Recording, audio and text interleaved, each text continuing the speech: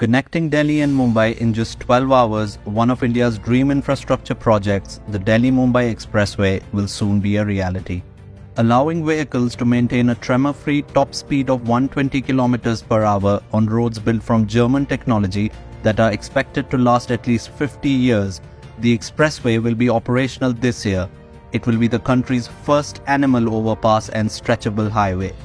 The 8-lane expressway, which can be stretched to 12 lanes if needed, is spread over a distance of 1,350 kilometers.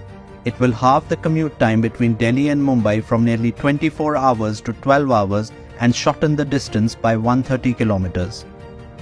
Haryana, Rajasthan, Gujarat, Madhya Pradesh and Maharashtra. The Premier Expressway will link all these states connecting important cities like Gurugram, Mewat, Ranthambore, Kota, Ratlam, Vadodara, Surat and many more.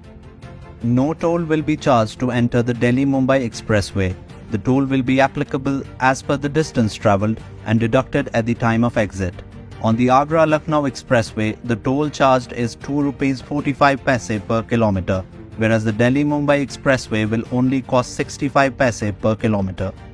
With regard to the expressway's share in the states and the expenditure, Delhi will cover 9 kilometers made at a budget of 1800 crores.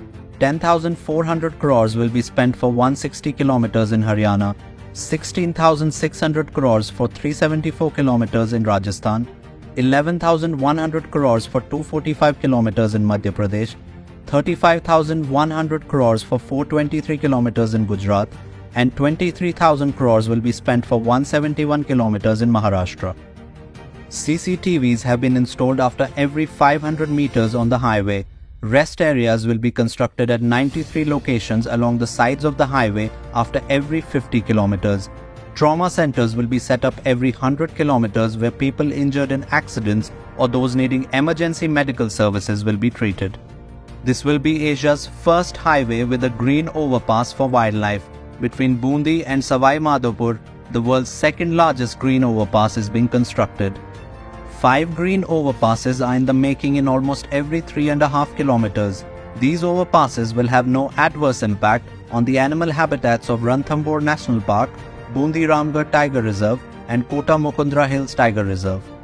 Creating an industrial corridor on both sides of the Delhi-Mumbai Expressway also remains in the pipeline.